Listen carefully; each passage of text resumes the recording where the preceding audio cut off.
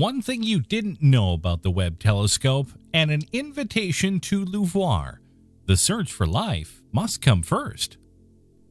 I've been involved in astronomy for more than 30 years, and since the beginning of my career, I have always wondered why in life I embraced this profession at the expense of other youthful passions. This question has always remained unanswered.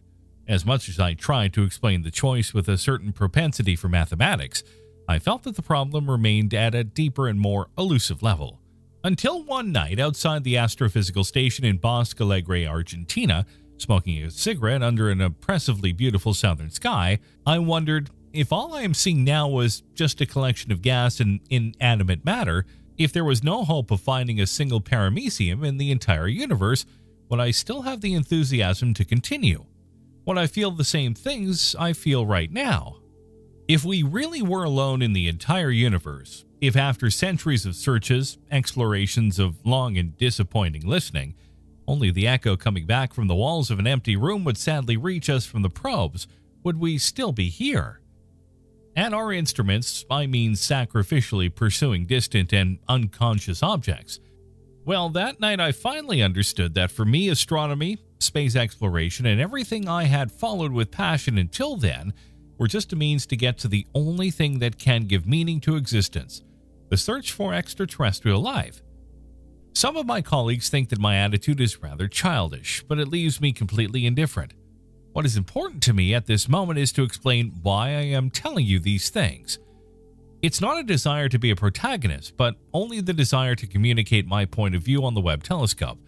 That despite what you read around is not, in my opinion, the right instrument for the study of extrasolar planets and also on the LUVOIR telescope, an opportunity that should not be wasted.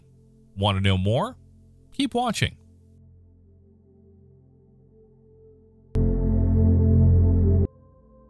As I told you, I'm so convinced that the current purpose of astronomy should be the search for life, even before astrophysical research, that I feel compelled to go against the grain on what we can expect from the Webb telescope. I'm obviously happy for the success of the launch and for the good progress of all subsequent operations, but I am also not very optimistic about its ability to give us answers about the habitability of extrasolar planets. Okay, no doubt assuming that its complex, month-long deployment in space works as planned, Webb will become the most powerful and far-seeing observatory in the sky. It will have unprecedented capabilities to probe the earliest days of the universe, shedding new light on the formation of the first stars and galaxies, and it will observe in new detail the most distant regions of our solar system. Deep space astrophysics is what Webb was designed for in the early 90s, and this will be its real specialty. To investigate the matter, to go back to the origin of the universe, to explain black holes and dark matter. But we should not hide the fact that in those years, exoplanets had not been discovered yet, and therefore the instrumentation on board for that kind of research was only adapted afterwards. Then there is the question of priorities. Not only 90% of Webb's observing time will be devoted to solving problems of strict astrophysical observance, but there will also be a distinction for the remaining 10% dedicated to extrasolar planets. On balance, reviewing the proposals already filed by hundreds of astronomers, more than 9% of these concern the physics of exoplanets, not their biochemistry. Many of the first observations of the telescope, to say, will concern the so-called hot Jupiters, gas giants in which the presence of life can be excluded. Only 1% telescope time will be available to those who want to try to capture the presence of biological signatures in Earth-like planets. And I still do not know if this ostentatious lack of interest in the search for life first is due to the awareness of the astronomical community of Webb's reduced capabilities in this sense, or to the fear that the interest in this topic could be judged sentimental by other colleagues. One must then consider that the method that Webb will use to examine planetary atmospheres is that of transit spectroscopy. This implies waiting for the transit of a planet on the disk of its star in order to identify, backlit by the background light, the atmospheric corona that surrounds it. It is hoped that through spectroscopy we can then determine the composition by examining the spectral lines. However, this is not true for all planets. Apart from the obvious exclusion of those that never transit the disk, it must be said that for its design, Webb has limitations and can successfully study only certain types of objects. mostly exoplanets orbiting M type stars or red dwarfs. No terrestrial planets around stars similar to our Sun, then. Red dwarfs are small mass, low luminosity stars and are by far the most common types of stars in the galaxy, but they are also stars subject to fierce bursts of radiation that could sterilize the surface of their eventual planets. I'm afraid the signals we'll get from rocky planets around red dwarfs will be very, very faint. They might be enough to tell us that an atmosphere is present, but the odds of them telling us anything about their biological signatures are very, very slim indeed. To make matters worse, Webb may have further difficulty detecting even the main sign of life that an exoplanet's atmosphere can offer us oxygen, for two good reasons. The first is that Webb can only detect light emitted in the infrared part of the electromagnetic spectrum, while oxygen is most detectable in visible light emissions. The second is that a team of researchers recently discovered that even the atmosphere of a planet with an extremely small amount of oxygen could still be able to support life, and that precisely because of this characteristic, Webb would judge sterile. All this may be disappointing for many of you, but if you do not want to believe me, at least pay attention to the opinion of some of my colleagues. I'm certainly not the only one to be so skeptical about the possibilities of Webb in the role of life seeker. Harold Connolly, who is currently involved with two asteroid sample return missions, OSIRIS REx and Hayabusa 2, recently said, In my thinking, we will never be able to prove definitively through the data collected by Webb that a specific planetary body contains life. Habitable? Most likely yes, or at least by our current definition of what life needs to survive. But life for certain? I don't think so. Ernst de Mooij and Chris Watson, both researchers from Queen's University Belfast in the UK, have instead declared the search for potential biosignatures is fraught with challenges. Not only will any signals be small and difficult to detect, but there are also significant possibilities of finding false positives, where signals are falsely attributed to biological origins, as well as false negatives, where genuine signals may be attributed to other causes.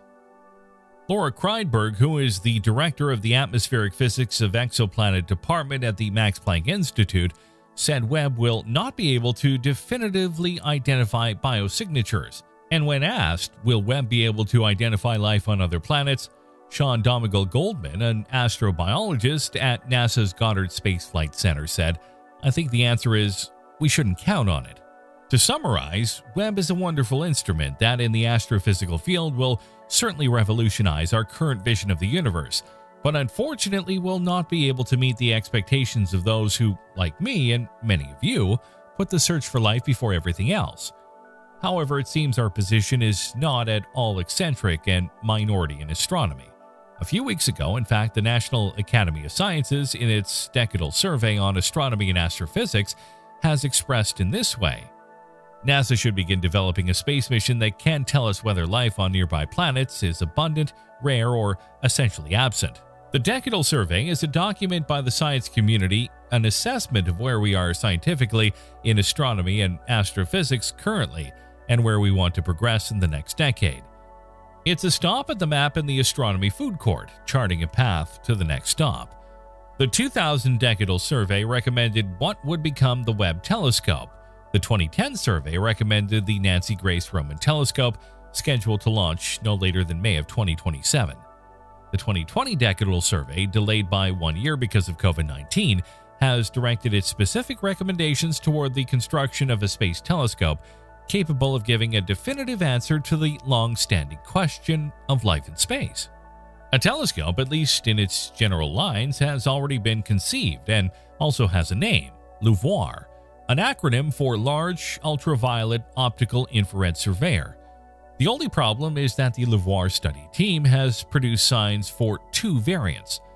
One with a 15.1 meter diameter telescope mirror, LUVOIR A, and one with an 8 meter diameter mirror, LUVOIR B. Both versions are intended to be serviceable and to operate at the Sun Earth L2 Lagrangian point, about 1.5 million kilometers from Earth where LUVOIR, like Webb, may maintain a stable orbit in the long term. LUVOIR's strength and weakness has the enormity of its segmented mirror. This mirror would allow astronomers to discover in study hundreds of exoplanets while also performing revolutionary observations across a wide swath of general astrophysics. Assuming any true blue Earth like worlds exist around the Sun's neighboring stars, LUVOIR should offer the best odds of finding them. But putting such a demanding deployable mirror into space translates to an astronomical cost. Estimates at NASA's Goddard Space Flight Center have arrived at the realm of 20 billion for LUVOIR A and 15 billion for LUVOIR B. For the timing of realization, we speak of about 20 years from now, with the launch that could take place in the early 40s. Well, I'm also here to tell you this. For my part, I strongly and absolutely support the 15 meter version. And I would ask you to support my position. So talk about it with your friends. Write about it on your social networks. Do as you please. The important thing is that when the United States Congress has to decide which instrument to finance, its choice falls on the 15 meter version. It would be a huge mistake if, in order to save a few billion dollars, the cost of a few stealth bombers, Congress would fall back on the smaller and cheaper version. Of course, the 8 meters of LUVOIR B are already something more than the 6.5 meters of the Webb telescope, but the analysis of the increase in diameter of telescopes over time shows that when you pass from one technological generation to another, the increase must be at least double. With LUVOIR A, we will really have the opportunity to remove from our minds the eternal question, the one that has always nagged us. Why waste this opportunity? Not to mention that under the emotional thrust of this grandiose undertaking, the instrument could be ready in less than half of the 20 years foreseen, taking advantage of the experience accumulated with the design and construction of Webb. If we want definitive answers to the biggest questions of all, it takes a big effort and a substantial investment, considering that the reward is learning that there's life on that planet orbiting another star right over there. It's clear that LUVOIR A is the one telescope we must all join together to build.